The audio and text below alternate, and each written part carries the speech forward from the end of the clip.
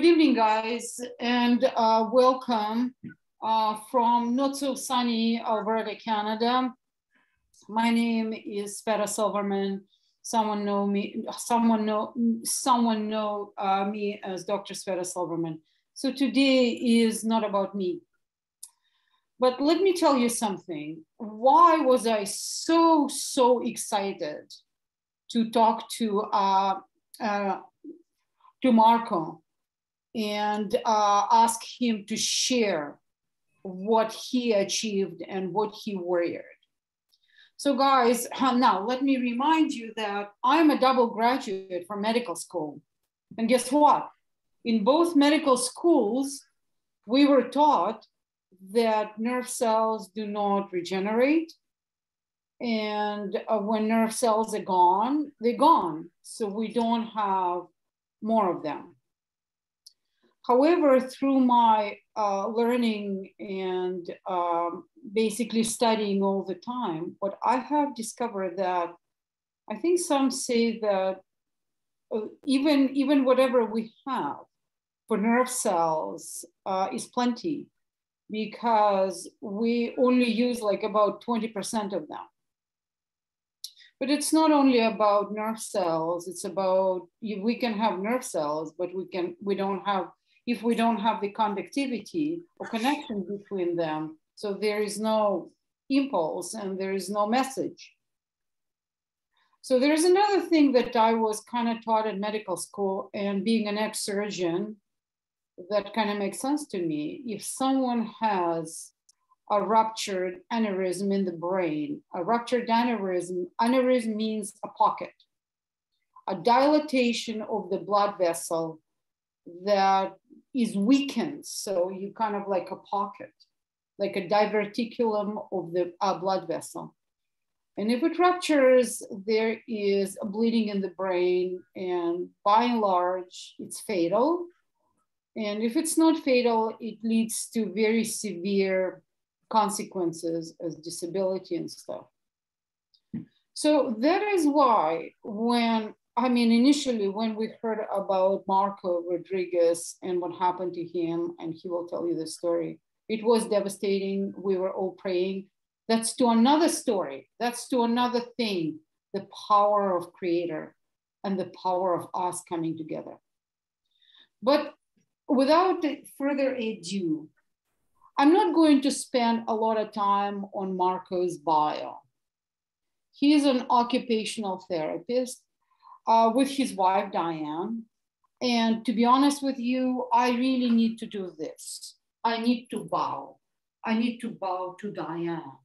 What he did in that time of adversity, and at that time, yes, yes, Kathy, in that time when Marco was on ventilator, when he was in perils, when he was in the hospital, Diane was his rock no offense, buts, and maybes. So, so both of them, it seems like they are OTs, occupational therapists extraordinaire, because their clinic functions conventional, unconventionally. And indeed, uh, I met Marco and Diane through uh, LifeVantage, the supplement company, which we're not going to talk about supplements. We're talking, today is Marco's time. So Marco, so let me tell you something. So what happened, and he will elaborate. Uh, on the 3rd of July, 2021, we got devastating news that Marco Rodriguez suffered a massive brain bleed. Uh, Marco, Diane, take it from there, from here. Thank you. And thank you guys. So honored to have you on Zoom. Thank you, Sveta. I really appreciate the opportunity to be here, and, and, it's an honor to be able to share my story on your on your call. Um, so yeah, so Diane and I are both occupational therapists, and uh, on July 3rd of 2021, we were vacationing in uh, South Padre Island, which is just right off the coast of Texas we were taking uh, my two my twins which were graduating from high school and my granddaughter who was finishing up eighth grade going into her freshman year of, of high school and so we thought we'd be and good idea to take them on a little trip to South Padre. And we were just like any other ordinary day. We had gone swimming uh, the day before out in the ocean. Uh, I mean, everything was great. Life was good. And then on July 3rd, uh, early in the morning, I received what I was, what you can only describe as the most painful headache that I could ever imagine. And, uh, and I started to get a little woozy, a little dizzy. And I knew, I thought, boy, this is not going to be good. Now, we were in a hotel room and I was at the other side of the hotel. And I thought, I know I'm going to pass out. So I need to make my way over to the bed so that I can just lay down there because I didn't want to fall and, hurt, and hit myself and hurt myself. Well, I never made it. Uh, I collapsed uh, just short of the bed. And uh, it's almost a good a good thing that I did collapse because what the thud that happened when I hit the floor woke Diane up, and uh, she uh, immediately called uh, dialed 911, and of course they whisked me away to a hospital in Brownsville, Texas. Fortunately, I say fortunately that if I collapsed before I got to the bed because had I fell asleep or landed on the bed and Diane had not heard, I probably would have just bled out. Um, so they rushed me to a hospital in Brownsville and um, come to find out, and Diane knows more of the details, but the, the, the short story is that I had a massive bleed. I received 10 titanium coils encapsulation, and uh, the neuro- neurologist says that over a third of the people who have uh, what I had, the size bleed that I have, don't survive. They're uh, dead on arrival, DOA, dead on arrival. And another third that do make it to the hospital usually don't survive uh, for over the next few days because of vasospasms and a lot of other complications. And so I am very fortunate. I appreciate everyone's prayers that got me through this. Uh, and I'm certainly glad for the things that I did before uh, digging the well before I was thirsty, if you if you know what that means.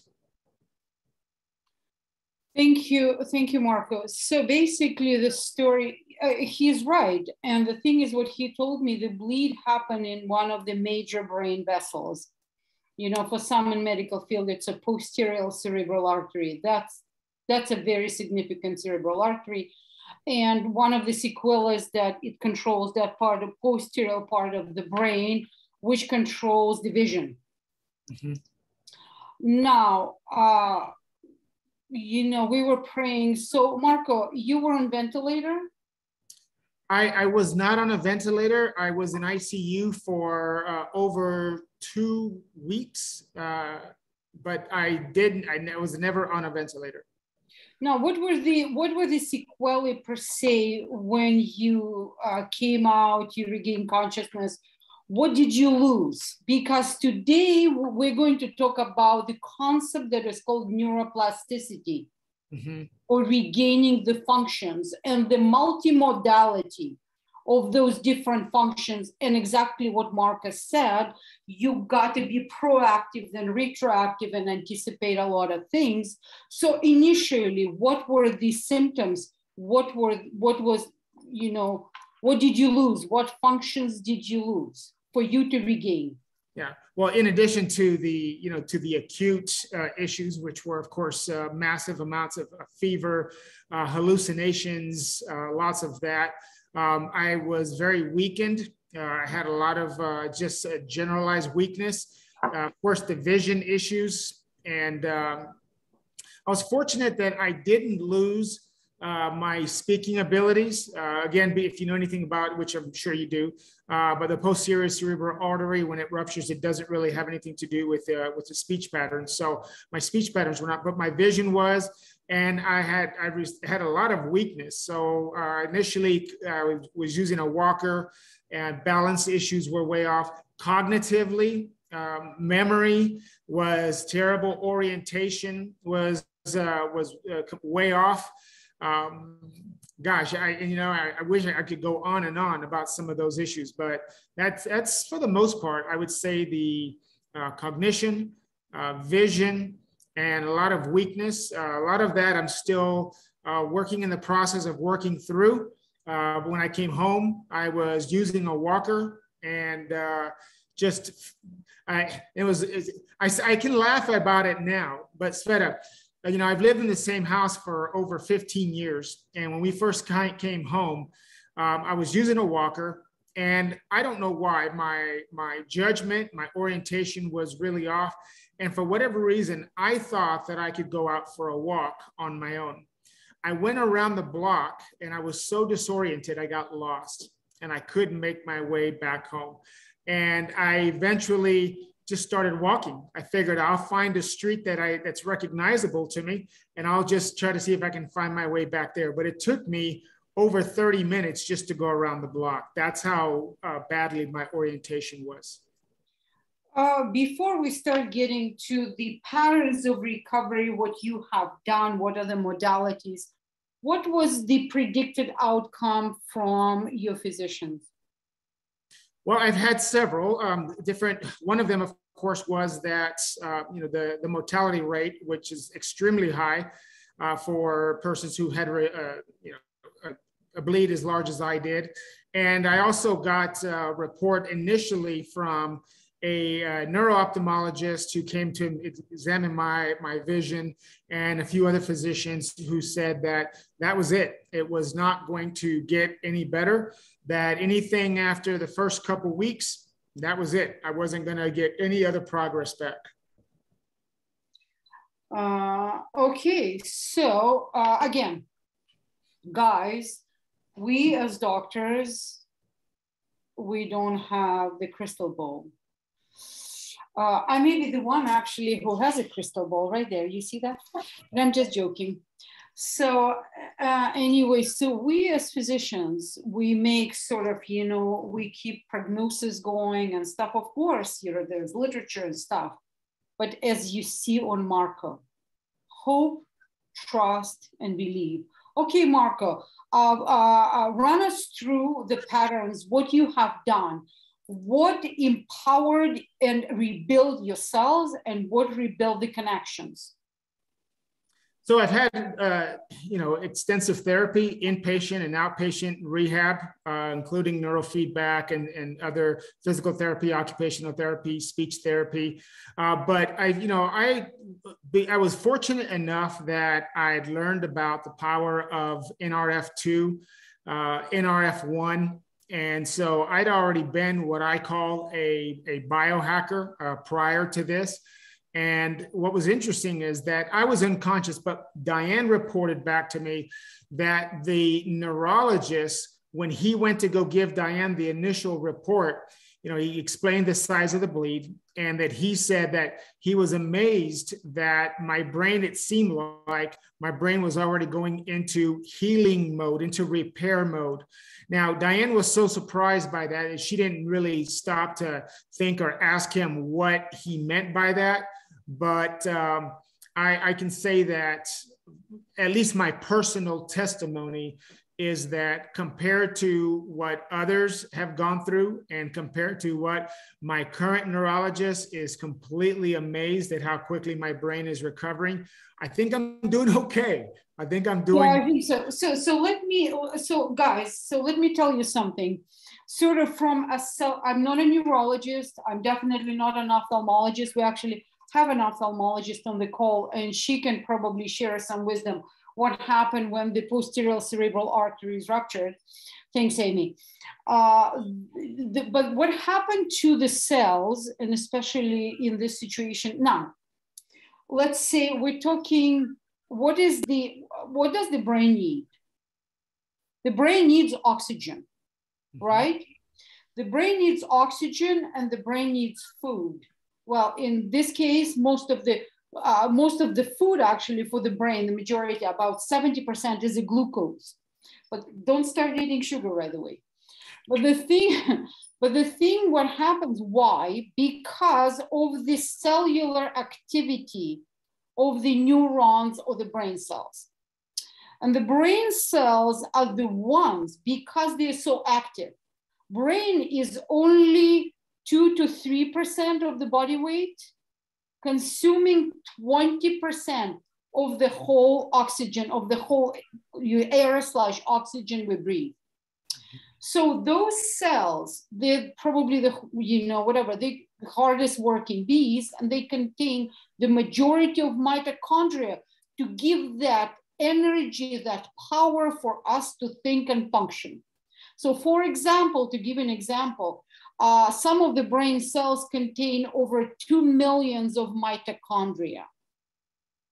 Comparing to the skin cell, which contains about seven mitochondria. That gives you an idea. So what happened when the ner nerve cell is damaged, neuron is damaged, and that mitochondria is doesn't get the energy, it's leaking. It's leaking, it's broken. So how does the repair happen? Why are we talking per se NRF2 and mitochondria? So when that cellular damage happens and cellular per se rupture happens, the repair happens through glutathione or one of the repairing mechanisms happens through glutathione, which is the master cleaner, master antioxidant of the cell. So cells are smart. They want to get rid of the garbage as soon as possible. The problem is, in Marcus' case, there was so much garbage because when, when there's a bleeding, there is a cellular damage, a cellular destruction.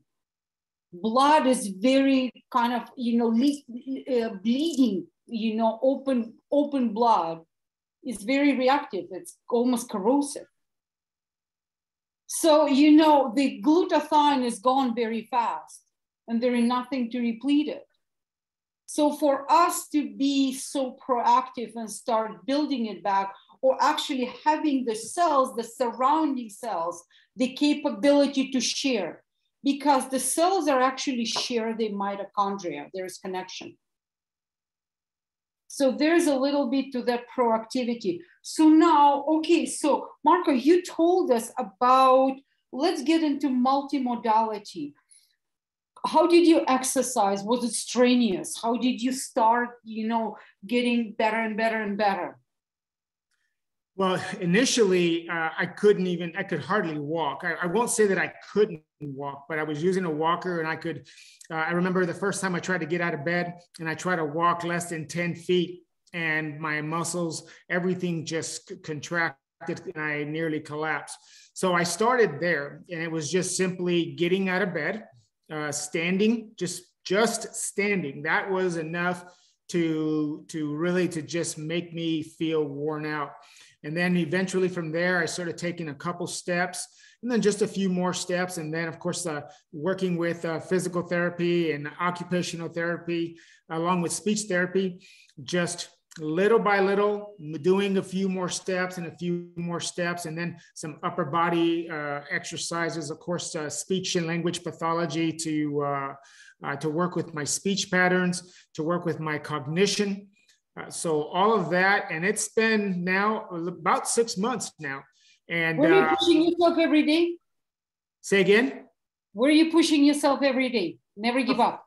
Oh, of course, of course. I, I you know, and and I've always been a, a rather introverted personality type, but I'm also a type A. So I push myself at everything that I do, and because uh, I, you know, I spoke with uh, with our our mutual friend Carrie Williams, and you know and i said something to her and as soon as it came out of my mouth i thought what did i just say? Because now i've got to live it.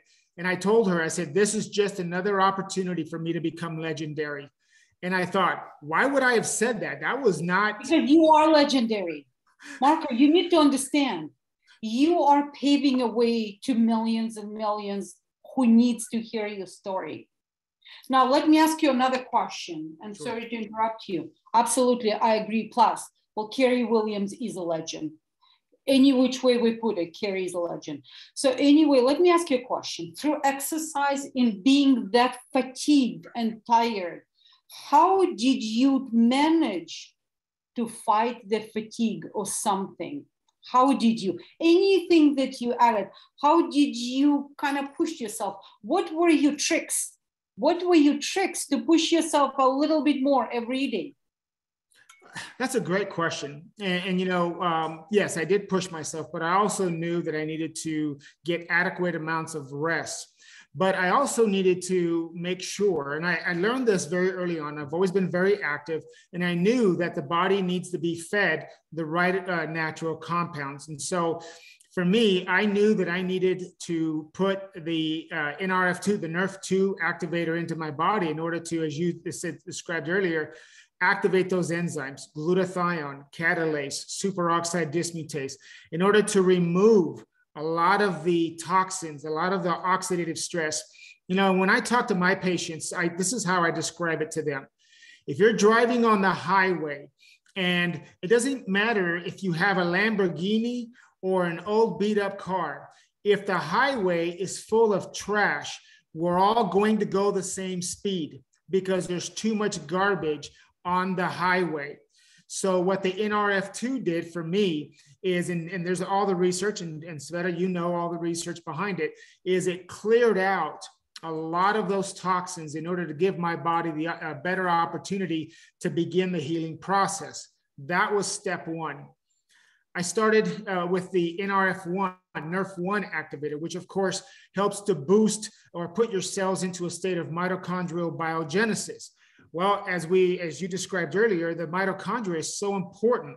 Uh, it's about 10% of your total body weight, and it is up to 90% of your body's energy. So, in order to have that, and of course, the brain has the most number that I know of the brain, and I think the heart's up there as well, but the brain has the highest number of mitochondria uh, of any cell in your body. And when you start to lose the mitochondria in the brain, you're going to know it uh, as opposed to if you lose a mitochondria in your skin cells you may it may not affect your life quite as much. So by active at, putting that nrf1 activation into my body uh, it certainly i believe it certainly helped my brain cells to have those engines in order to be able to uh, start to function again. But the interesting thing what you said mitochondria is it's an interesting thing absolutely and mitochondrial biogenesis, aka making more mitochondria.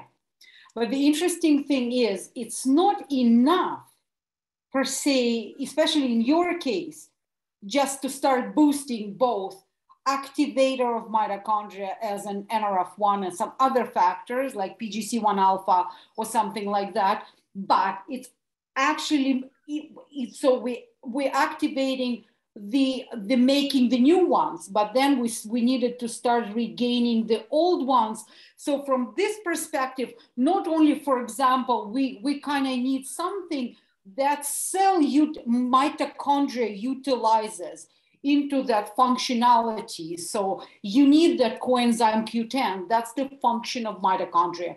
You need that carnitine you need that uh, alpha lipoic acid or alpha lipoic acid. You, um, but what you also need is, and that's what Marco was doing, you need the exercise. You need that continuous exercise. And sometimes you need actually a strenuous exercise. Mm-hmm. And then, per se, probably in Marco's case, in his situation, he was not overeating either because he was on a hospital bed and the appetite i'm sure wasn't there as this as the body is taking care of like you know? So lessening a little bit of a caloric restriction are you know that exercise routine and then activation of the mitochondrial biogenesis and the mitochondria itself boosting mitochondria then uh, I think that, you know, everything adds up. Everything adds up. So, I, I, yeah, go ahead. No, no, I was, I was sorry. I was going to say, um, and you know, everything you're saying is completely accurate, obviously. And you know, one of the things that I looked at was, you know, when we're talking about uh, uh, brain plasticity, now, obviously, no one is saying that the brain has the ability to regenerate an excised portion of the brain any more than uh, you have the ability to grow a new arm or a new foot. But the brain does retain uh, a certain level of healing capabilities, i.e., neuroplasticity. And, and part of what, uh, what helps with that process is the activation of brain derived neurotrophic factor which of course helps put the cells into a state of axonal genesis. And in some cases, the research shows um, a, a neurogenesis as well. So um, you know, I, I am fortunate that I have been surrounded by people like yourself and uh, you know Dr. Rodarte and and some of the other folks that are on the uh, a part of this organization that helped me to uh, have the right compounds and the right level of activity in my body to in order to maximize whatever that might be to maximize my brain's healing process. Let me ask you a question because now you're teaching me. Is there a, is there a connection between NRF2 and uh, brain-derived neurotrophic factor? Are they synergistic? Are they synergistic? Yes, ma'am. Yes, they are. Yes, they are.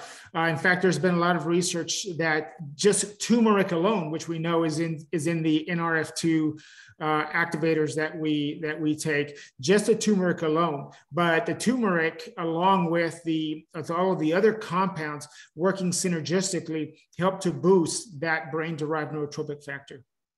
Another thing is, is there a, did you do any specific exercises or something in your recovery that also kind of stimulates the brain, utilizes and boosting, boosting the mitochondria and everything. I, you know, I, I try to be very versatile in my in my exercise. Everything from uh, progressive resistive exercise, weight training, um, light. Of course, I'm not anywhere near as strong as I used to be, and I certainly have to be careful not to. Uh, I don't want to. I, I, was always concerned that I was going to re-rupture something. Um, that's starting. That I'm starting to become a little bit more daring. But uh, another thing that's really helped me is martial arts. Uh, I'm fortunate that my wife is a fifth degree black belt in judo and uh, has competed all over the world. She is. She's she's a tough cookie. And uh, Diana will never say a bad word in your in your presence. Me either. That's why I'm so well behaved. Um, but you know, um, I, I, had a chance to to go into the gym and start doing exercises a little bit at a time, and that certainly has helped me quite a bit. Well, the interesting, thank you. And again, Diane, thank you. So the interesting thing, guys, let's think of the connections. So you have those brain cells and neurons, and they have, you know, whatever, arms, arms and legs. So arms and legs are called dendrites or axons. So dendrites are the those dendrites, like we call them the legs because they bring the information to the nerve cells. Yes. The nerve cells makes this the, the command, creates the command, and the signal, and then through axon, it's like through the arms. Here goes the command, here goes the message. Now, the interesting thing is, and that's where being proactive is so important, and creating neuroplasticity is so important when there is a trauma or any event or aging, the dendrites and axons become shorter. When they become shorter, they may not connect to the other cell. So the whole idea of us staying young and then creating the neuroplasticity is maintain those legs and arms very long and very stretchy, very flexible. So that's the part of neuroplasticity.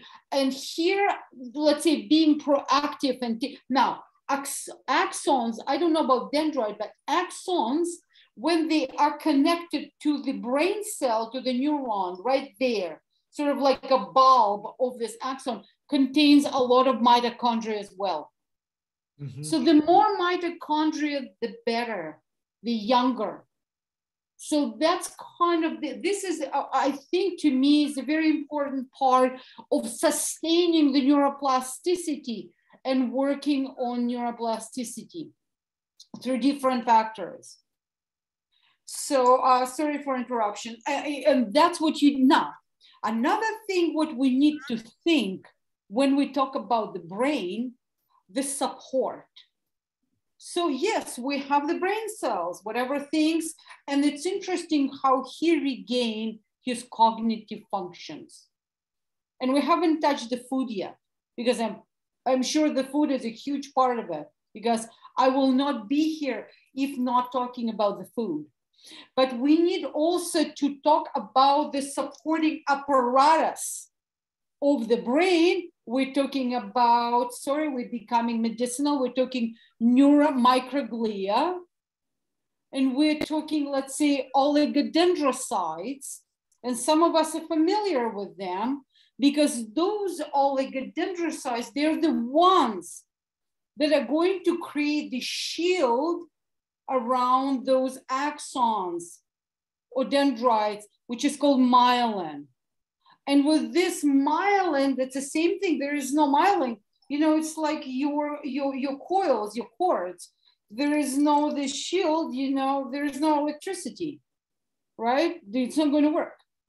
So same thing. We need that myelin, and that's the supporting upper. So the nerve cells are like kings and queens but they need to be fed, they need to be supported, they need to be nourished. And this is our microglia, this is our astrocytes, and this is our oligodendrocytes.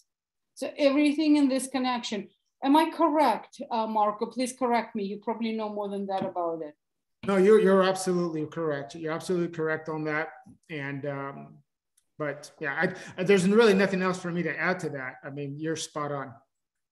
So now so one thing, so let's get into foods now. So we kind of started backwards. We started NRF2, NRF1, mitochondria and stuff. Now let's get into foods because what I want us to talk, I want him to talk about foods and actually want him to talk about fats. Because I'm sure fats are a part of the recovery as well.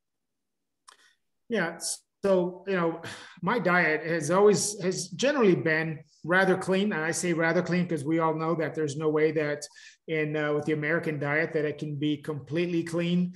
Uh, but you know, part of my part of my food intake is, certainly lots of fish and uh, um, taking those omega oils because we know that, of course, DHA. In addition to everything we've talked about, DHA is a building block for for uh, brain function, and so I try to keep a high uh, content of fish. Trying to keep the sugar down. Um, that was something that I struggled with for many years of my life. And uh, so trying to keep that sugar down is certainly important because we know that sugar is, uh, is very acidic and it is uh, counterproductive to, uh, to, to the healing process. Um, and I don't know if that helps, but I, I just, again, it just. Totally, it totally helps. DHA is so so extremely important for the brain health. There is no way around it. Mm-mm. It just you we need and yeah. So and the thing is, you know, obviously, um, uh, being a vegan for so so many years, uh, even being a vegan, I was on fish oils because vegans, in my mind, what I know, I may be wrong, they don't convert properly. They don't convert enough. They convert some to EPA, but then not to DHA. Right. We need DHA, so that's why, to me, uh, fish oils is basically it's almost like medicine because it's an essentiality of our life. Yeah. So, and, and we need, yeah, we need a lot of DHA for a lot of stuff. So that is very, very important. So again, the fish oils. So thank you for that. Yeah, um, I, I, no, I'm sorry. What I was going to say is that yeah, the um, the uh, the fish oil, the DHA, uh, is is right along up there with you know we're talking about activating that brain derived neurotrophic factor in order to build uh, new neurons. In, in, as much as, and again, I, I, just want to reiterate in case there's somebody out there who's uh, saying, well, the brain can't do this and can't, brain can't do that. We understand that the brain is not able to um, regenerate a, a, an excised portion of the brain. We, we get that. Uh, but it does have those uh, minor or, or, more, not as significant uh, neuroplasticity capabilities. And so with the DHA, uh, you know those omega oils and then uh, activating that those chemicals that brain derived neurotrophic factor, NRF1, NRF2, all of it working together is uh, puts the brain and the entire body in a much better position to be able to heal itself and to maximize its capabilities and the combination of EPA and DHA. So EPA is going to be like pro-inflammatory. And trust me, when there is a bleed, there's an inflammation. Yeah. So, and I'm sure he had, especially with fevers and stuff. So uh, that this kind of things. Yeah. So um, yeah. So we kind of covered, yeah, we kind of we we covered guys for the neuroplasticity. We covered exercise we covered the food, we covered NRF2, we covered some mitochondria, we covered, covered fish oil, and uh, we I think we covered some exercise. Now tell us more. So uh, what else? Well, so you know the um, I've had numerous examinations of obviously uh, you know I went to go get an MRI, and uh, the the the guy that was uh, reading the MRI was really funny. He he looks at the MRI and he's going through my medical history, and he looks at me and he says, "Wow, bro, how are you still alive?" I thought, okay, I wasn't quite sure how to take that. Um, other than you know, I was I guess I was happy that I that I am still alive. But uh, he says, "Wow, the the size of your bleed and, and everything that happened." He says, it's just absolutely amazing. He starts, so he starts asking me questions. Are you able to move your hands? I'm like, yeah, I had some trouble at first, but I can move my hands. I can move my feet. Obviously, I have no problem speaking. And he just shook his head and he thought, wow, what, what an absolute miracle. And I thought that was rather profound that, you know, here's a guy that's looking at a picture of my brain. And, uh, and even he was surprised. Um, you know, at our at our clinic, my wife and I are both occupational therapists, as you mentioned, and um, at our clinic, we also provide uh, brain mapping. It's a QEEG uh, technology that uses the EEG to take a three-dimensional image of the brain's electrical activity.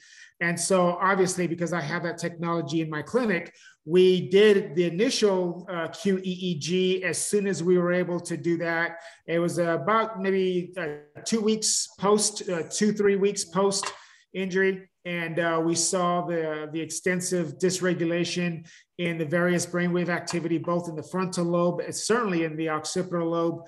And uh, so I've been doing neurofeedback training as well and uh, doing uh, brain maps from time to time and just kind of monitoring the progress.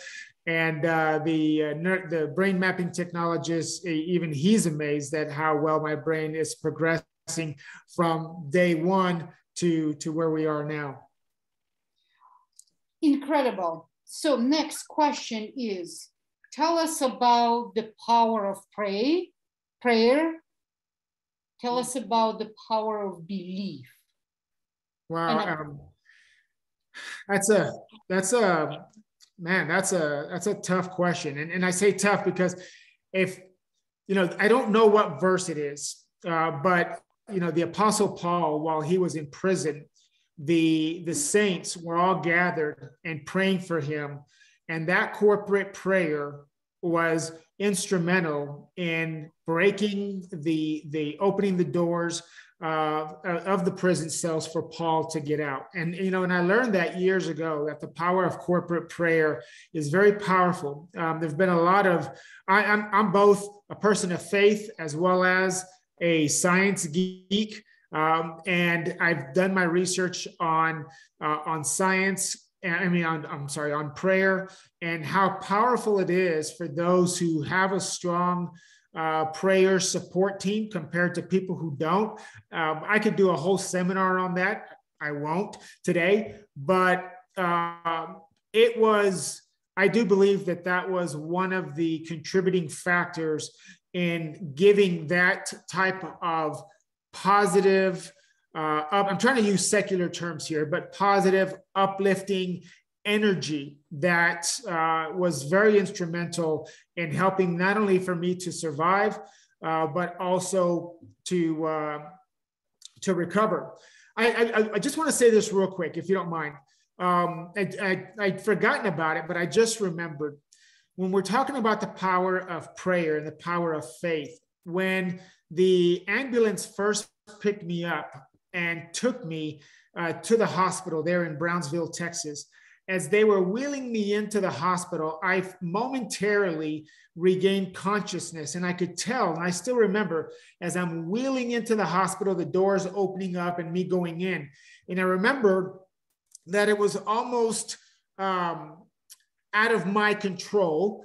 I said, I am not going out like this. And the gentleman who was pushing the uh, the gurney, he says, "I'm sorry, what did you say?" Because he was surprised that I was talking to him, right? And I said, "I'm not going out like this." And he goes, "Okay, okay, just just relax, Mr. Rodriguez." And from that point on, when we were in the hospital and they were telling my wife about the the the the probabilities and how you know the the death the death rate or the mortality mortality rate I guess is what they use. And how my um, they said that I think it was uh, 14 days or something like that that they that they were that there's a window there. And I remember thinking okay well if they're saying and I don't remember exactly if it was 14 but I'm just going to say 14 days. I remember thinking okay the doctor said 14 days I'm going for 16. And the reason why I said 16 was because I thought maybe he made a mistake and he meant 15, but I'm going to hang in there and I'm going to keep progressing and I'm going to make it to day 16. And I just remember, uh, you know, the chaplain coming in and, and, and we prayed together. And, and I just thought, Lord, I'm, I, if you need me, great, but I'm not ready to go out yet. I got too much to do still which leads me to the to the next two questions. What is your plan on staying on your path and getting better?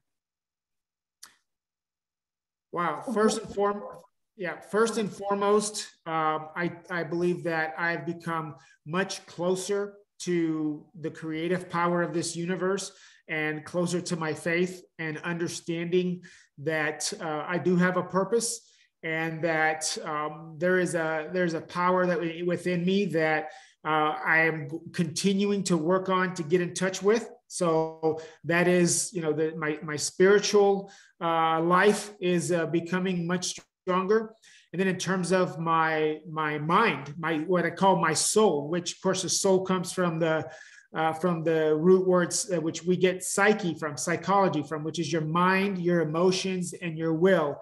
And so, certainly working on that, continuing to uh, do things that are going to improve me in terms of my mind, my will to live, my will to live a life that is uh, giving back to other people.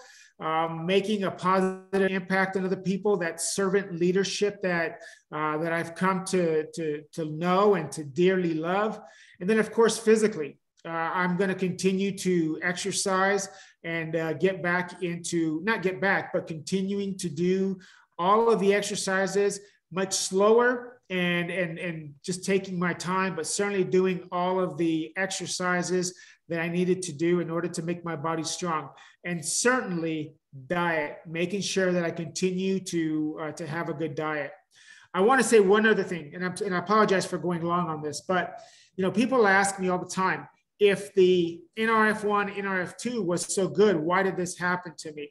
And the, the fact of the matter is that I've had this my entire life.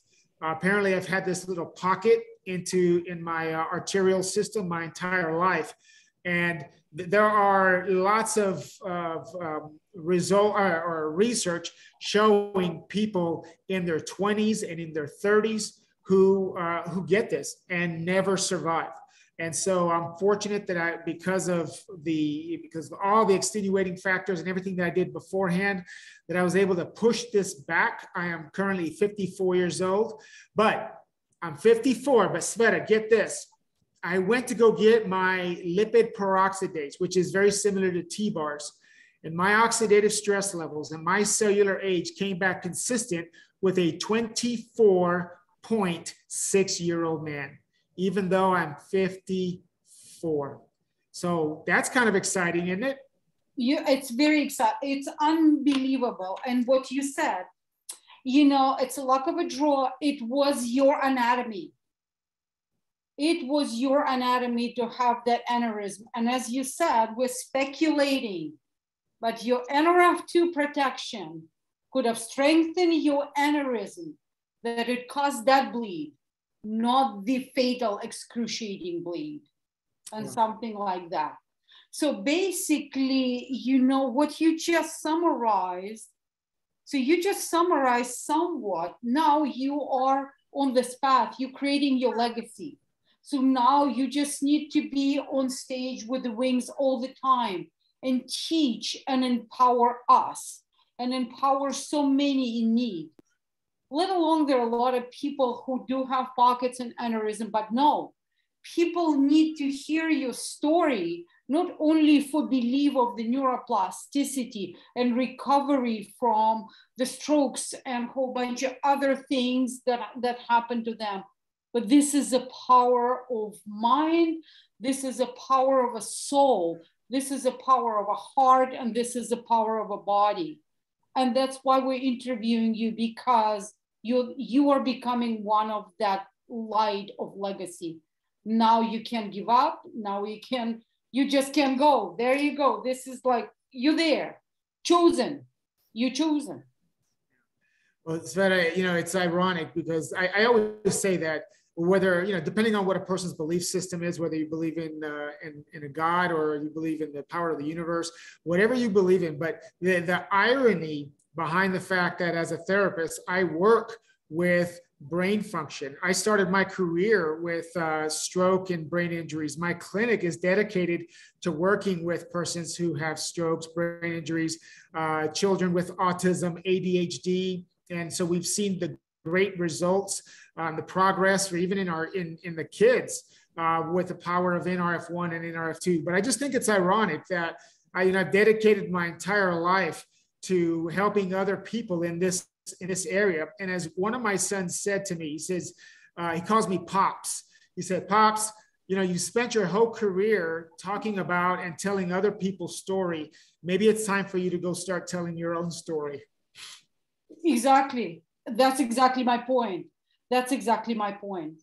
So I think, guys, we should end on this absolutely positive note on gratitude.